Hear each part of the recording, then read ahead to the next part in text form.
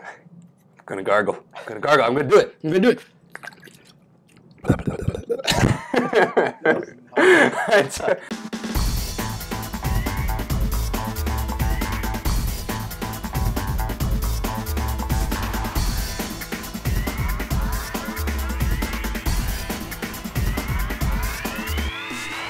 Welcome to Wise Dakota. This is where you ask me the questions and I give you my best absolute answer.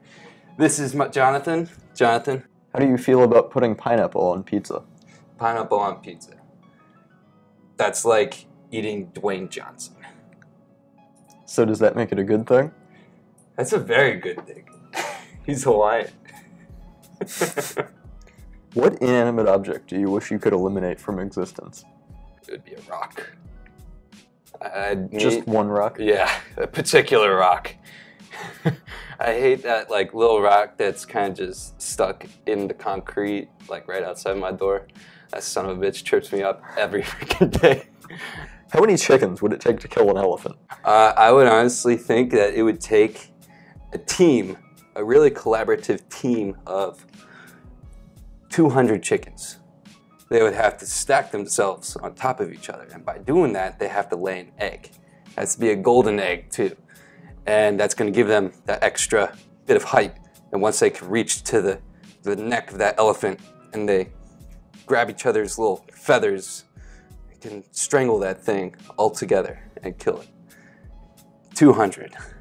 That's the answer. It's a solid Because you know why 200? It's better than 300.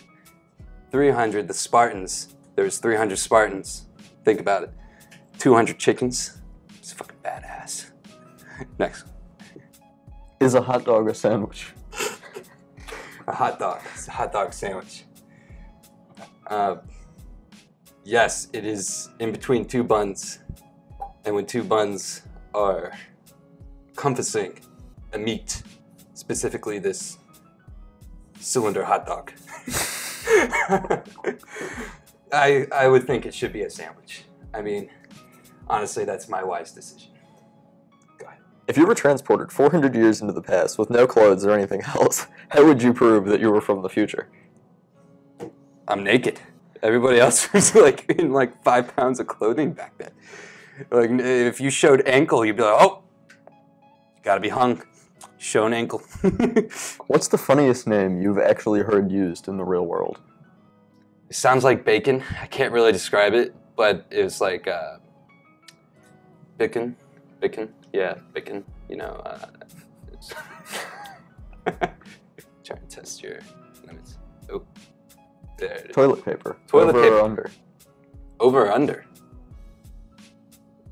Like a good thing? What's the most embarrassing thing you've ever worn? Definitely uh, my sister's tank top. You know, I thought the fact that it was my tank top, and then I kind of went out and she's like, You're wearing my freaking tank top. And then I had no idea. It just looked really good on me. It was nice and tight. I was like, ha, I'm going to the gym in a tank. And then she was coming to the gym too, and then she just looked at me like, well, You're wearing my fucking tank top.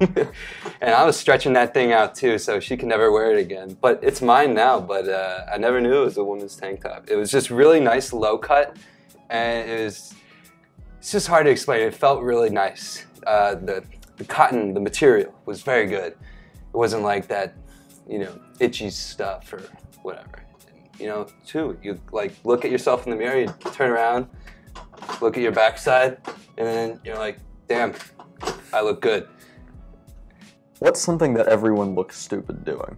Pretend a fake phone call. Have you ever done that, Jake? Yeah, pretend like your mom's on it. Oh, shit, there's that girl again. Fuck.